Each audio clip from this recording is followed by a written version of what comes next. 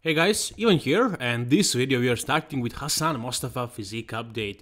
Finally, a real one. So here he says he's two weeks out of New York Pro, weighing 269, let's say, let's round it up, 270 pounds, fresh out of bed, extremely depleted and flat. So he's 270 in the morning, without carbing up, without eating any meals really, and he says here time to carb up. So he's gonna start eating more now. Now as far as his conditioning i don't know if this is actually the right time for him to start carbing up because he doesn't exactly look crisp right? Maybe it's the flatness that makes him look a little bit softer but i don't really see those crazy details uh, the crazy level of conditioning. I think nick walker is way more conditioned right now. So i'm hoping that him saying it's time to carb up means he's gonna carb up today or like one day, two days, and then he's gonna keep dieting hard. Because it seems like there is some work still left to do. I don't think he's super crisped, but at least we know now he's not uh, not not as fat or as bloated as that video that surfaced that he posted. Yeah, that video was older video for sure. You can see his conditioning right now, and he looks he looks yeah good, good, but not crazy conditioned. Along with that photo, he also posted a little back training video, and here when his back is stretched and under a good lighting, it does look pretty lean, but then when he stands up, when he relaxes it, eh, you can see the wrinkles down there, and you can see the thick skin, so he doesn't look exactly, uh, you know, shredded at this point. And you can see his legs also, he, he, he looks like he has a fat ass. I mean, not really, but yeah, he doesn't look, you know, peeled for the stage. Two weeks out, he should be more conditioned. I mean, the other guys are. So it all feels like he's not going to be his best for his conditioning. Again, under a good lighting, his arms look pretty ripped. I mean, you can see the veins everywhere and striations. His biceps are splitting very nicely, and uh, the veins are popping, and you can see some some separation. But for two weeks out, out of like third best show in the world, I don't know. From this position as well, you can see the veins on his traps, on his lats. He does look pretty lean. He does look fine. Yeah, that's gonna be good, I guess. But look at it here. Look at it here. Look at his lower back now. This this lower lat area right here. So for two weeks out, I would prefer to see it drier, right? I mean, he could be leaner. Don't you agree? Maybe it was just another show. Maybe he could get away with this kind of conditioning. But he's facing this. This is what he's facing. This is Nick Walker about three weeks out of New York Pro. You can see his quads, they're really lean, right? There isn't much fat. I mean, the striations are, are deep. You can see the cuts everywhere. You can see the vascularity. I mean, everything abs, shoulders, chest, arms. He's just lean. He's just really lean. And in all likeliness, this is gonna be his conditioning on that stage, just bigger. So it's gonna be very hard to beat Nick Walker this show. This right here is the conditioning that Hassan brought to his last year's Tampa Pro, where he took, I don't know, like fourth or something like that, but he looked pretty good. And this is where his standards good conditioning, not not as good as Nick's conditioning at the Chicago Pro. No. I don't know, maybe you would prefer his New York Pro level of conditioning, but here he had some hemorrhoid issues, so he ended up in a hospital after this show. So this probably wasn't him feeling at his best, but he brought a good level of conditioning, and many people actually had him winning the New York Pro last year at that moment where he stepped on the stage. But as the show went on, he started fading, started looking worse and worse. His conditioning looked much worse at the end of the show than it was at the beginning, so he ended up being like fourth or fifth again. So again, maybe this year he can figure it out. Maybe he can come good. But based on what I've seen, based on this update, I don't think he's gonna be completely crisp, unfortunately. Alright, next we have an actual update of Akim Williams. So he posted a story in which he looks reasonably lean. So now we all got worried when we saw that photo that he posted on story, that back shot, I mean this one. Many people thought this was recent, but uh, yeah, it didn't really look recent. When I saw it, I thought it was from his previous prep because nobody looks this lean at 12 weeks out. The only thing I thought would be that maybe he was doing another a show earlier, like New York Pro or Indie Pro or something like that but uh, no, this is not Reese. This is from his prep. This is actually how he looks right now. Nothing crazy conditioned, not that crispy look that he had like one week out of a stage. No, but for an off season, he looks great. He posted a few other shots on his feet where you can get the idea of how lean he is right now. You can see his arms basically and shoulders and everything.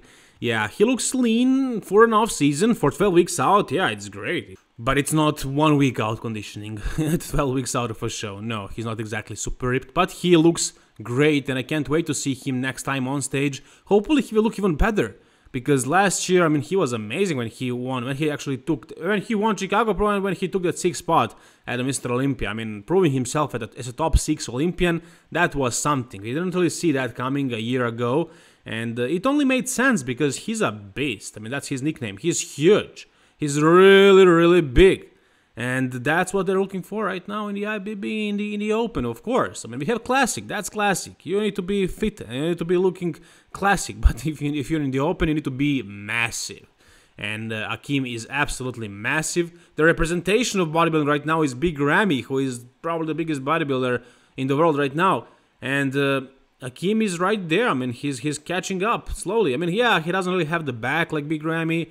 I don't think he can ever beat Big Ramy, but he can definitely be in that top 5, top 6 for years to come if he keeps progressing or if he just maintains that level of conditioning. I think it was, I think that, that that level of conditioning he had last year, that was probably his peak. He's probably going to be chasing that for the rest of his career. I don't know if he can actually get better than that. Maybe he can. I would love to see that, but we'll see what's going to happen. Right now, he looks pretty lean for 12 weeks out, not super crisp at 12 weeks out now. So you saw Hassan, right? And now you compare him to Hunter Labrada, who is 12 weeks out of Chicago Pro. And the level of uh, the conditioning that Hunter has, I mean, the difference between these two guys, it's not that large. For sure, Hassan is leaner, but Hunter for 12 weeks out, damn, he's really lean. So this means we can expect crazy level of conditioning from Hunter at the Chicago Pro. And as far as Hassan at New York Pro, yeah, not that impressive, two weeks out. So here you can see Hunter, and there are some other shots that he posted. And even though on the paper he might not be the favorite to win this show, Chicago Pro, because Akim is top 6 in the Mr. Olympia and he's doing Chicago, Hunter was 8, which was also pretty close, like that's only two spots. And also you have uh, Sergio Oliva, who was 5th at the Arnold. I do have Hunter ahead of uh, Sergio, but I don't really see him beating uh, Akim, though it's possible. We'll see. He's also pretty heavy right now. Like, I mean, it's 12 weeks out. We'll see how how light will he get, but at this point, absolutely amazing and really huge. Alright, we have a physique update of the men's physique Mr. Olympia champion, I think four years in a row or five, something like that, Jeremy Buendia, who is uh, very popular among fans of bodybuilding because he has been through a lot of drama with other bodybuilders uh, you know that uh, man's physique fuss that he has with Anton Valiant and the others.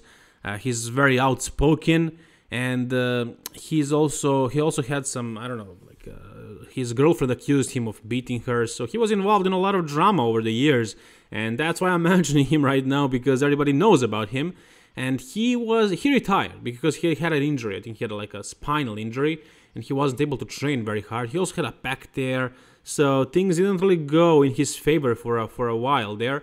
And now he posted a physique update and compared to the previous one that I made a video about, he does look better. He does look bigger. I mean, that tricep looks pretty good, pretty thick. He definitely did gain some of that mass back. I don't know what his plans are. There was some talk that he might jump to classic. Uh, maybe he's gonna just return to man's physique. I don't know. I would definitely like to see him back on stage because because he's so outspoken. It would be definitely exciting to see him, especially in the classic physique. I would love to see him in classic physique division. You can say whatever you want about his personality, but he definitely does have an impressive physique, and this is him right now trying to train hard again. So hopefully he will actually gain back some of that muscle that he lost. And hopefully even add a little bit more, because you cannot argue with the fact that this physique, these genetics are world class. He definitely does have the world class genetics. I mean, the waistline compared to, I mean, the waist size compared to shoulders is just wow. And then the shape of the shoulders, of the arms, of the chest, everything, legs also. He has pretty good legs. So the only problem that I can see right here is that his torso is too long for bodybuilding, for classic, whatever. But he definitely does have pretty, pretty aesthetic physique. I mean, very extremely aesthetic physique and very good classic lines. I would definitely love to see him in classic physique. What do you think? And do you think we'll see Bonac in classic physique? So yeah, Bonac just announced he's doing the classic physique this year. just kidding, but he does look very, very much downsized. he definitely does look smaller. This is the first time I see William Bonac this small in the off season. Usually he looks really big in the offseason, right? Like he gets full and maybe a little bit chubby, a little, little bit watery. He never, he never really gains fat.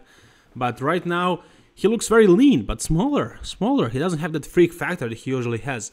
Like he's really bubbly. His shoulders pop like crazy. His arms as well. Right now, even though he's working out, so he's pumped, he doesn't look extremely big. For somebody who was nicknamed Pitbull, nah, he doesn't really have it anymore. He does not. He lost a lot of gains.